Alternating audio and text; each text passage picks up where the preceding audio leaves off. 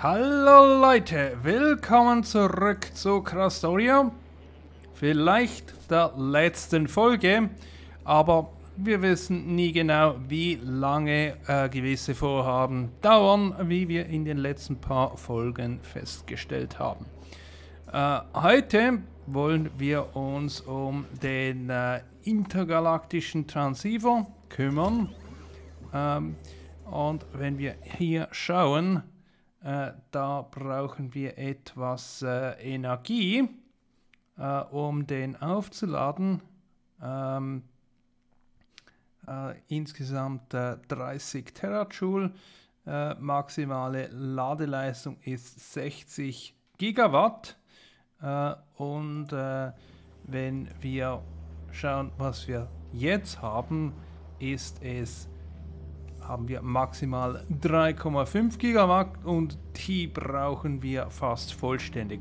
Drum denke ich mir, für diesen äh, Transceiver äh, bauen wir separat einen Antimaterie-Reaktor. Ähm, und äh, für die Antimaterie, ähm, da brauchen wir äh, die Zellen. Und da jede Zelle braucht 1000 äh, Materie. Und ähm, wenn wir da mal schauen, aus was können wir äh, das denn so herstellen äh, und was eignet sich am besten. Ich meine, das günstigste ist Holz, aber wir brauchen zwei Holz für äh, äh 10 Holz für 2 Materie. Ähm, vielleicht ein etwas ungünstiges äh, Verhältnis, auch wenn wir Holz nur aus Wasser herstellen. Ich denke, das braucht äh, entweder sehr viel Wasser, äh, sehr viel Gewächshäuser ähm, oder dauert eine ganze Weile. Äh, Biomasse 10 zu 5, äh, nicht allzu schlecht äh, aber Biomasse stellen wir nicht in, in hoher äh, Menge her. Dann die ganzen Erze sind auch äh, 10 zu 5, Rohöl 100 zu 6, möglicherweise etwas besser, aber ähm, das ist einfach eine, eine Konversion, äh, 1000 Materie in einen Materiewürfel oder äh, ein Materiewürfel in 1000 Materie. Mineralwasser, äh, Quarz noch schlechter. Rohes Immersit ist 10 zu 10, also ein Verhältnis von 1 zu 1. Und wenn wir schauen, ähm, wie viel rohes Immersit wir da äh, abbauen, haben wir 900 die Minute. Das heißt, äh, das sind ähm, 90 äh, in 10 Sekunden, 15 pro Sekunde. Äh, das heißt, wir bekommen ein, wir bekommen auch 15 äh, Materie da raus. Das heißt, in äh, das heißt, äh, ach, wir könnten eigentlich die mal, weil das heißt, wenn wir die Menge nehmen, 900, dann sind das auch 900 Materie die Minute. Das heißt, pro Minute bekommen wir fast einen Antimateriebehälter raus. Ähm, aber ähm, wir haben hier zwei äh, Immersitfelder angeschlossen und ich denke, für die Antimaterie brauchen wir separat was. Und ich habe da diese beiden ins Auge gefasst. Wir können die auch wieder äh, zusammenfassen, einen Bahnhof äh, haben. Und dann, hier unten haben wir unsere, unsere Stromproduktion. Und ich denke, ähm, wir ziehen hier ein Gleis raus und liefern dann das rohe Immersit für die Konversion hier an, konvertieren, haben dann hier irgendwo äh, den Antimaterie-Reaktor, den wir... Hm, ich möchte den eigentlich nicht am gleichen Netz haben wie den, den ganzen Rest, aber die Verarbeitung schon. Ähm, da müssen wir mal schauen, wie wir das hinbekommen. Ähm, aber ich denke, zuerst brauchen wir hier mal äh, die... Die Bohrer. Wo sind die?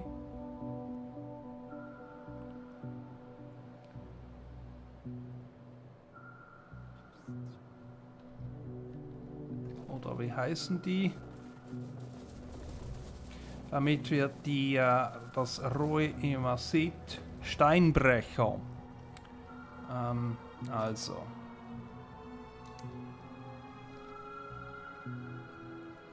haben wir ihn doch. Äh, ich brauche nur zwei davon. Bitte liefern.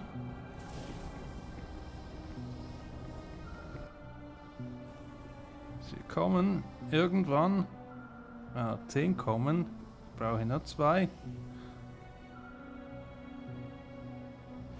Und dann können wir die beiden äh, Felder da oben anschließen.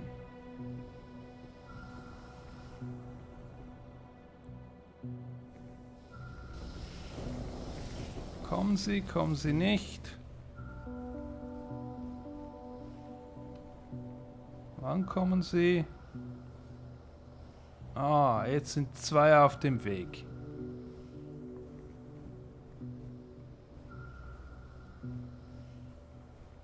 Hoffe, die kommen bald.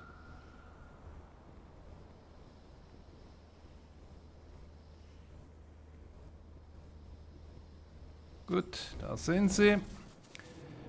Ähm, mit so viel äh, äh, Exoskeletten hier drin äh, brauche ich nicht wirklich äh, ein, äh, ein Fahrzeug. Ähm, brauchen hier etwas Strom. Wir brauchen hier etwas Strom. Und dann brauchen wir hier einen Bahnhof. Ähm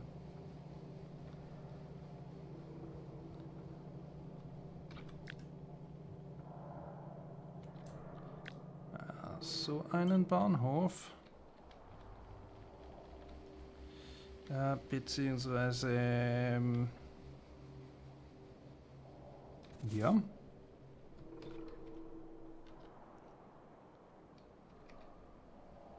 Das funktioniert so.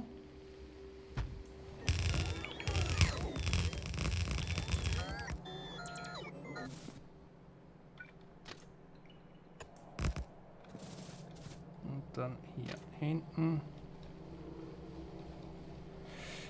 kommen wir da so raus. Wollen wir hier so ein Signal. Ähm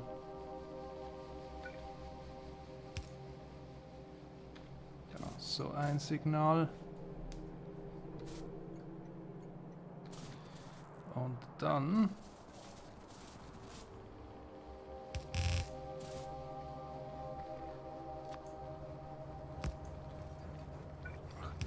So.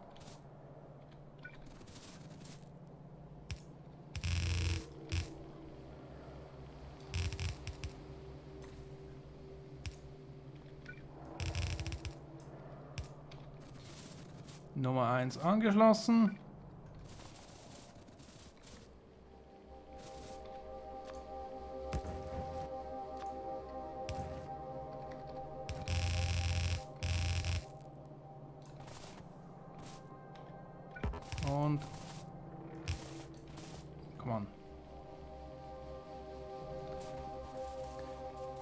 wenig gelbe Bänder.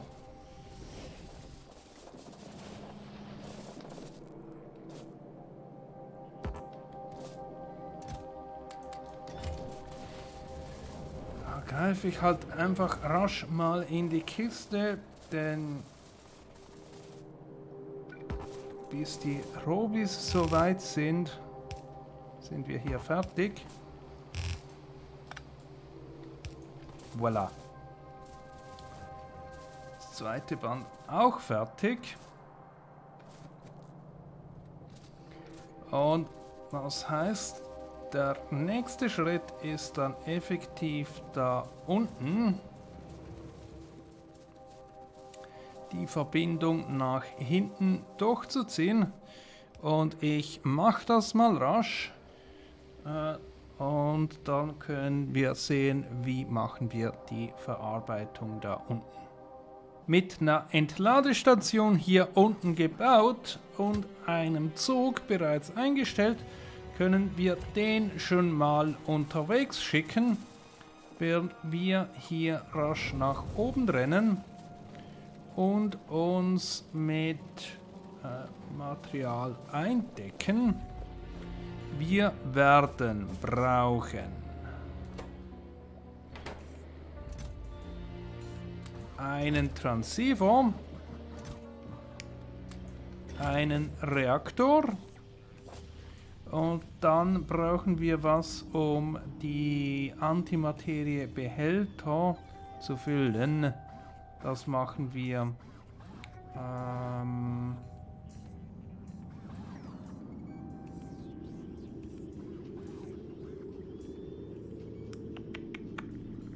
Wo machen wir das? In Materie-Montagemaschinen. In denen hier.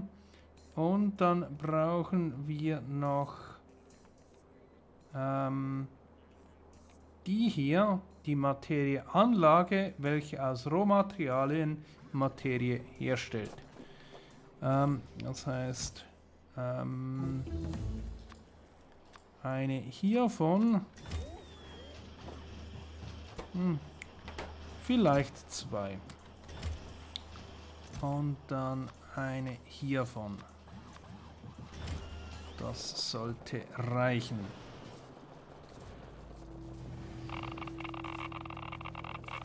Gut.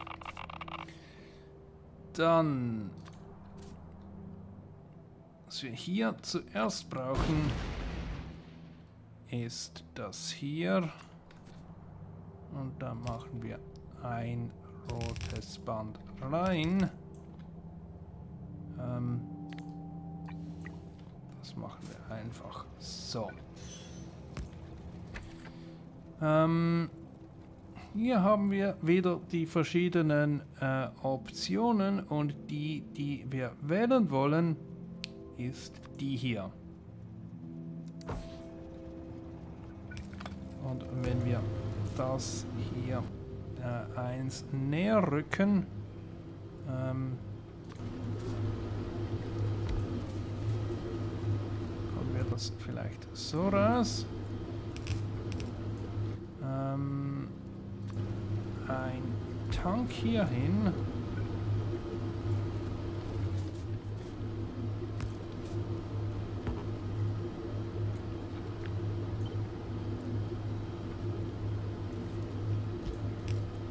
Gut.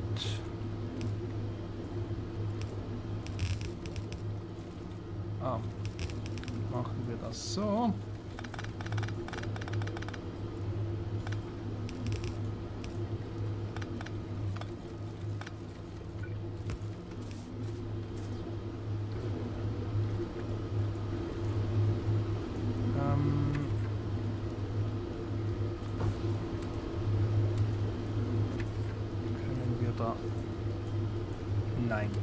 wir können Geschwindigkeit reinpacken.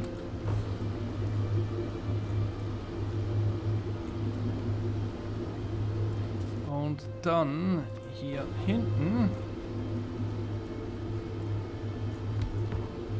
lassen wir etwas Platz frei. Da können wir das hinmachen und da brauchen wir jetzt Anforderungskissen.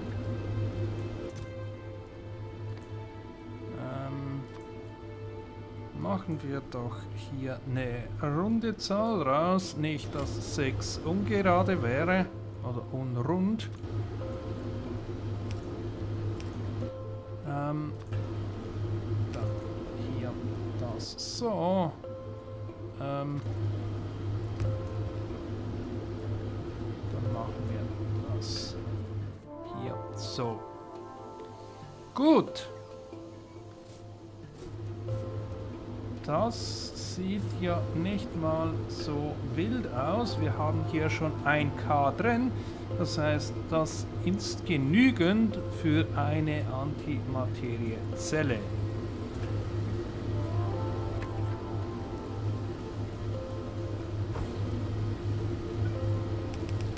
können das auch hier auf der Seite noch anschließen.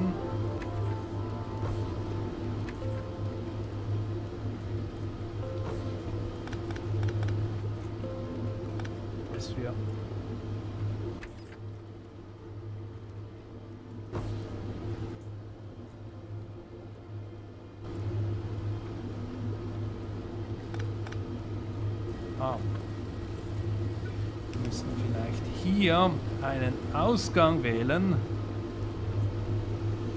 Dann kommt das gut. Yep.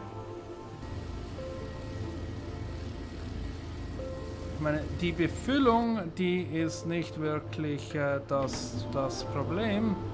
Ist mehr so... bis wir die Materie da reingepackt haben. Aber das sieht schon mal gut aus. Ähm,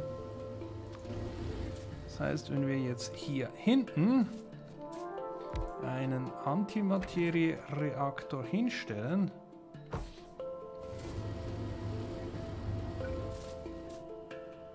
und da einfach eine Anforderungskiste ranmachen.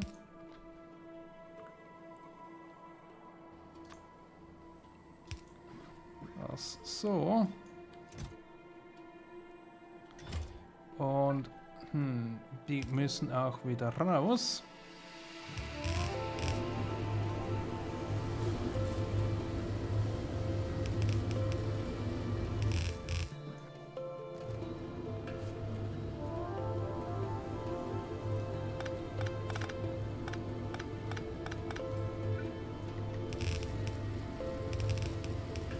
Und dann packen wir die hier rein. Da dann zu viel haben,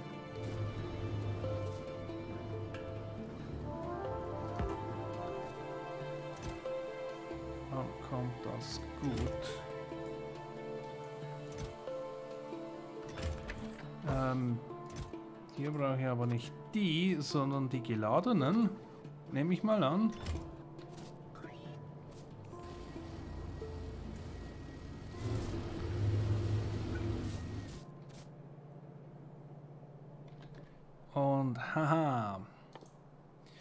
Das separieren will,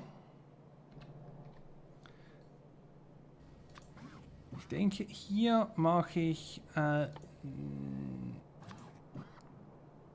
eine Solarzelle ran, äh, so dass wir das äh, getrennt vom, äh, vom normalen Netz haben. Und ähm, oder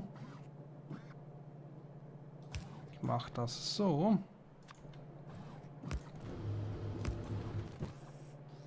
Dann ist der nämlich nicht am Netz. Und dann, wo haben wir den Receiver?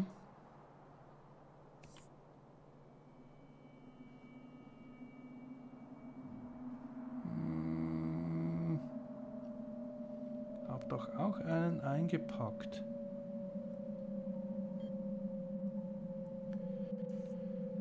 Ähm.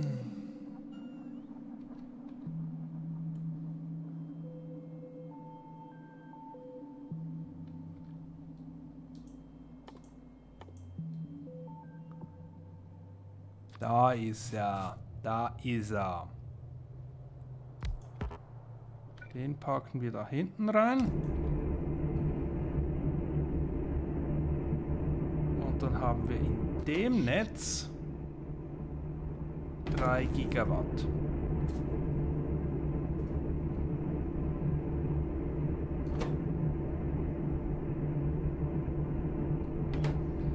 Nicht genügend Energie. Ähm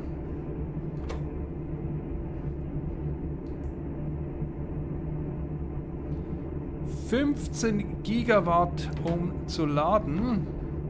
Das heißt, äh, wir brauchen da nicht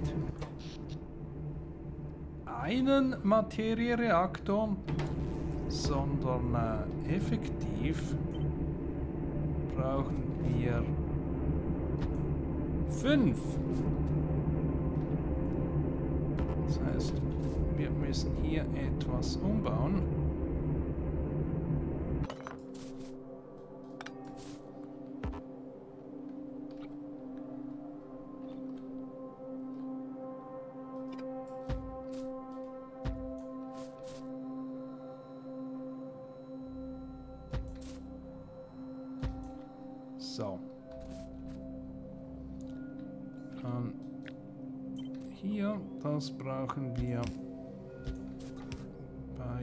Jedem von denen. Wir brauchen das überall.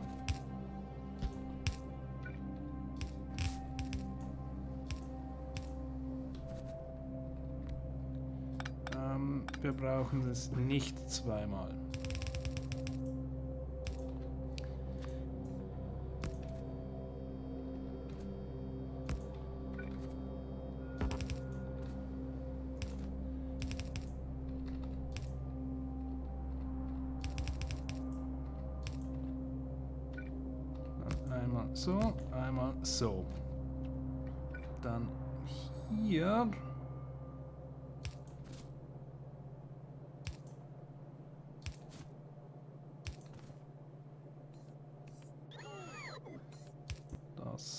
So. Das so. Und dann hier hinten rum. binden wir das so. Und sobald wir da dann alle am Start haben, wird der auch geladen. Aber so ein Antimaterie-Reaktor laden, das dauert sein Zeitchen. Äh, und ich frage mich hier, ähm, wie sieht es mit der Produktion aus, ähm, der Produktion an Materie, ähm, da sind wir bei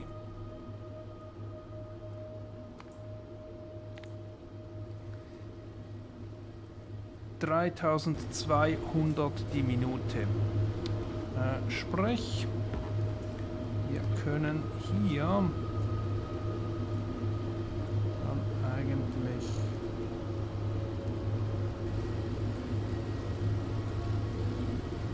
das Setup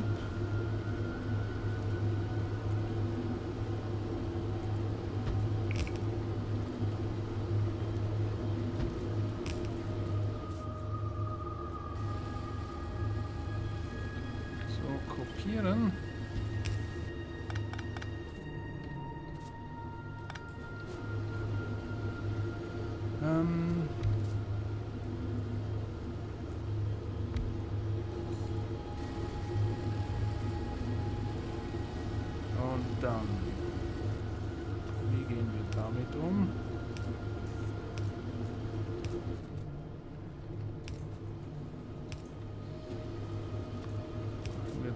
so.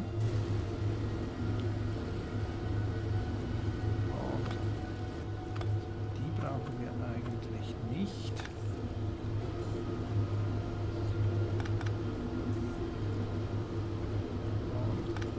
statt hier rum können wir so machen.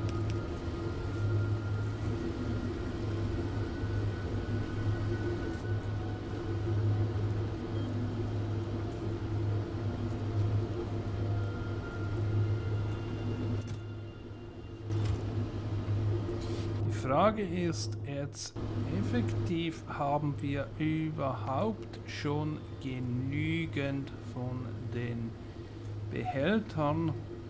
Hier haben wir sieben produziert, sieben geladene, 36 ungeladene.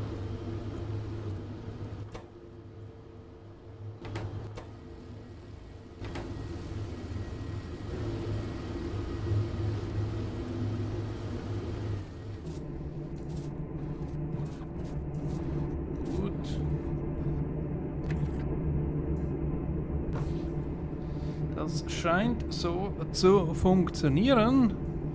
Aber wir müssen noch warten, bis die verbleibenden zwei Antimaterie-Reaktoren äh, fertig sind, bevor wir das Ganze in Aktion sehen.